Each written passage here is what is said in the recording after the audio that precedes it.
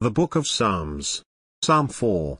Hear me when I call, O God of my righteousness, you have enlarged me when I was in distress, have mercy on me, and hear my prayer.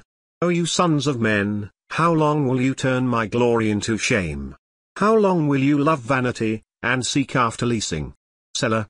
But know that the Lord has set apart him that is godly for himself, the Lord will hear when I call to him.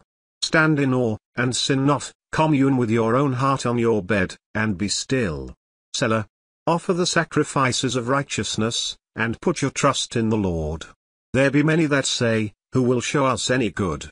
Lord, lift you up the light of your countenance on us. You have put gladness in my heart, more than in the time that their corn and their wine increased. I will both lay me down in peace, and sleep, for you, Lord, only make me dwell in safety.